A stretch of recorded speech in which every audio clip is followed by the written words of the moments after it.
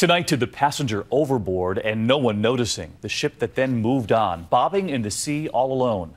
ABC Cecilia Vega with what happened next. That speck in the ocean, that's a 22 year old man overboard. He somehow fell into the Caribbean off the biggest cruise ship in the world, and the ship sailed on. It's unclear how long he was out there. Someone on a Disney ship traveling the same route spotted him in these choppy waters off the coast of Cozumel, Mexico.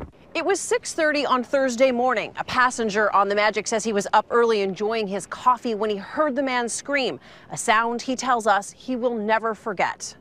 The rescue caught on camera by this man watching on deck. It was surreal.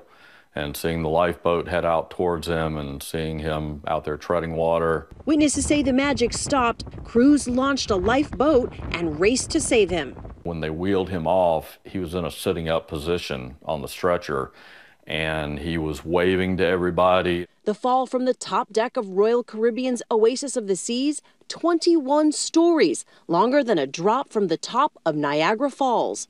In a statement, Royal Caribbean says, We are grateful for the other ship's assistance. That other ship, owned by Disney, ABC's parent company. From overboard to overjoyed and back on dry land tonight. Cecilia Vega, ABC News, Los Angeles. Wow, a trip he won't forget.